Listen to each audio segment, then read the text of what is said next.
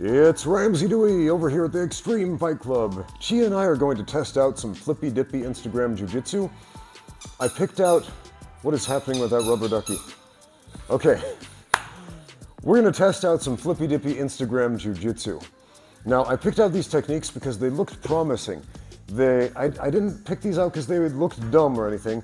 They looked promising, while I was sitting on the toilet, thumbing through my phone, looking at Instagram Jiu-Jitsu videos, thinking, hey, that's a position I find myself in. Let's see if I can make this work. Because, you know, some of these things are gold, and some of them, when you actually try them out, don't work so well. And, you know, some of them are very situationally specific. This first one, um, I tried this with Xiao yesterday, and he went all limp fish, and it didn't work when the other guy does nothing. So some techniques require a certain level of dynamic resistance. We're going to start in a 50-50 position, right? And I'm going to reach over here and start lifting this up and put my weight on this foot, which is pretty good because that means he's not going to be able to uh, straight ankle lock me if I stand up here. I'm going to take this knee and I'm going to bring it here, but I'm going to sit, which is going to start rotating him, at least in theory, so I can move over to the back Okay, when he's cooperating 100%, this so far seems to work pretty well, although I think uh, I need to work on that transition a little more. Let's try that again. Okay, and the thing with any new technique, especially like a jujitsu technique, I mean, these are complex gross motor movements, so we got to rep them out a lot. So I stand up, weave this in here, and I think I'm catching my hand here. This is going to take a little bit of momentum on the drop to make him turn. Oh, that didn't work out uh, the way I wanted it to that time. Let's try it on the other side. Because in theory, like when I looked at this technique, I thought, man, that, that could be a really great part of my game. Right. Start to stand up, bring this over here, and then he sits. But yeah, I'm, I'm noticing right now, I'm not saying this, this is bad jujitsu or a bad technique, but it's, I'm noticing it's going to be a very situationally specific technique depending on how this guy reacts.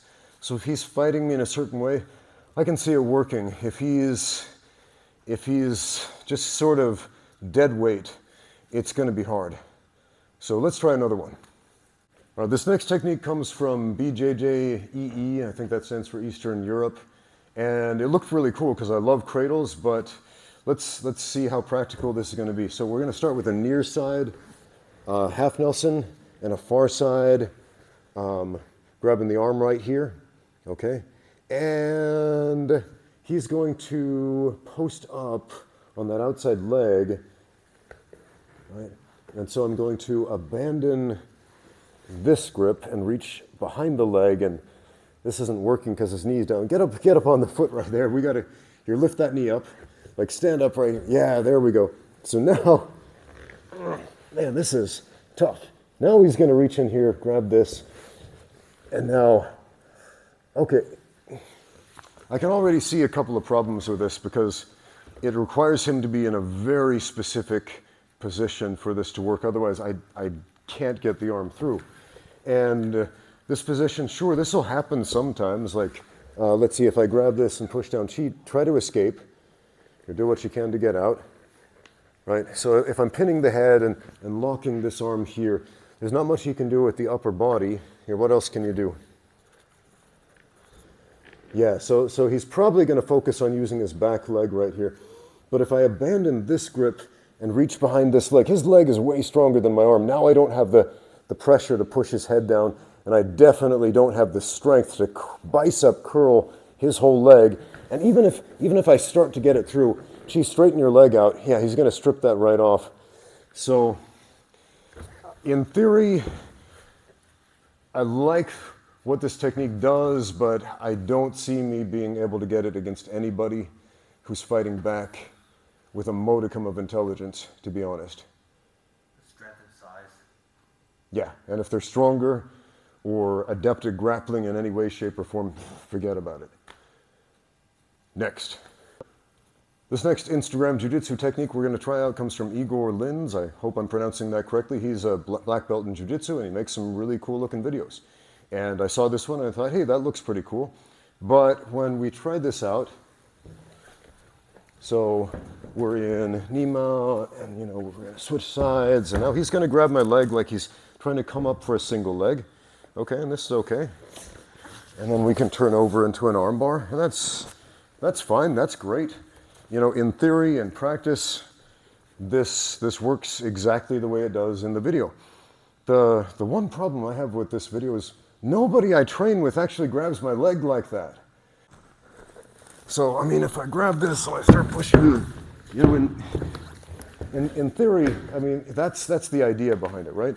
And there's nothing wrong with that. That that could happen. It's just none of my training partners do this. Like nobody tries a single leg on me when I'm in knee mount. So um, it's it's a fine technique. It's a good technique if people are trying to do that to you. It's it's totally going to work.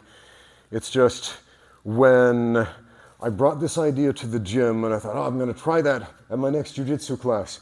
It never happened because nobody tries to single leg me from knee mount. So, again, Igor makes cool videos, go check him out. But again, be realistic about what your training partners are actually going to do and what positions you're actually going to be in when you train. That's all.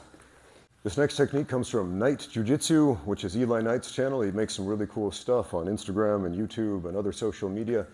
And yeah, I love mounted triangles, so I wanted to check out this technique and see how it works. So we're in a side control position, and the guy on the bottom is reaching up for an underhook here, right? And so I'm gonna whizzer and come over the top of the head, and now I'm gonna move around to the other side, okay?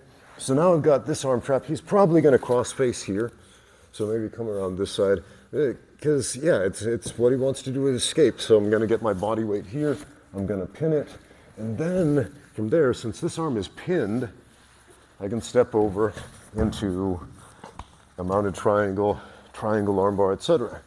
And I like the way that one feels. So far, I'm, I'm liking this one. I, I, can see myself using this one when, when I roll and when I spar. So again, because this is this is something that happens all the time. People are going to get this underhook because what does he want to do with this? He wants to get up. He wants to stand up. He wants to get in on a single leg. He wants to take me down, right? So this is a very realistic situation. This is a situation I deal with a lot when I roll. So again, this is this is why I like this technique so far. So again, whizzer down on the head, move over here, right? And then I've got that arm trapped. This cross face comes up. I push it down and into that mounted triangle. And whew, I think we have a winner. I like this one. So far, Eli Knight hasn't let me down with his flippy dippy Instagram jiu-jitsu. So if you like watching flippy dippy jiu-jitsu moves on YouTube or Instagram, remember it's not enough to just look at them once on your phone. You've got to do something very important that I'm always telling you to do. It's called get out there and train. Thanks for watching. Now go do that. Brought to you by xmartial.com. Use my code RAMSEY10 for 10% off everything. That's xmartial.com. High quality training gear and fight apparel.